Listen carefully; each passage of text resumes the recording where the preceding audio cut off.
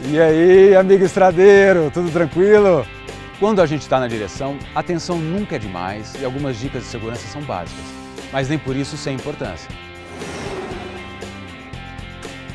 Sabe aquela mania de deixar o cinto frouxo?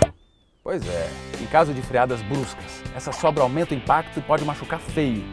Por isso, use o cinto de segurança ajustado ao corpo, sem sobras. Duas mãos no volante, nem preciso dizer, né? Depois de um tempo de estrada, a gente relaxa e vai ali, só na ponta do dedo. Aí qualquer buraco surpresa na pista faz a gente perder a direção. Para quem gosta de chinelo, não, melhor não. O chinelo engancha o pé, escorrega, aí já viu. E lembra de passar protetor solar. Você sabia que um estudo recente de 898 pacientes com câncer de pele, 53% só tinham a doença do lado esquerdo? Porque esse é o lado mais exposto do sol quando a gente dirige. É, parada é séria. Tem mais. Lembra de ter sempre aquele óculos escuro por perto, para o sol não atrapalhar a visão. E não é porque você está tomando todos esses cuidados que pode sair acelerando com tudo. Vai na boa, respeite os limites da velocidade. Você vai ter mais tempo para prever e evitar acidentes. Uma última dica.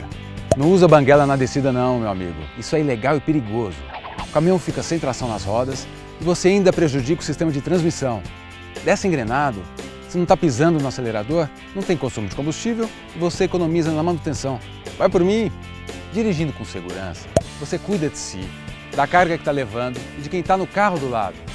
Amigo Estradeiro Man, com você em todo lugar. Um abraço!